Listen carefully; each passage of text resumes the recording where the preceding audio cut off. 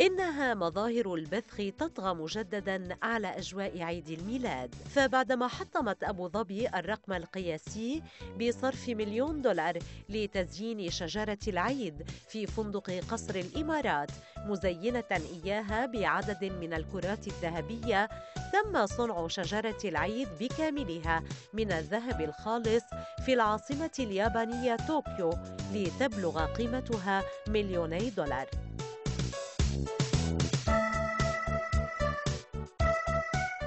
كما تجاوزت شجرة أخرى في اليابان أيضا وتحديدا في مدينة كوبي التي تقطنها غالبية مسلمي اليابان سقف المليون دولار. فهل هذه هي الطريقة الفضلى لإحياء رمزية عيد ميلاد السيد المسيح؟ وهل من العدل أن يتم صرف كل هذه الملايين على تزيين شجرة في وقت تعاني فيه شعوب بأكملها من الفقر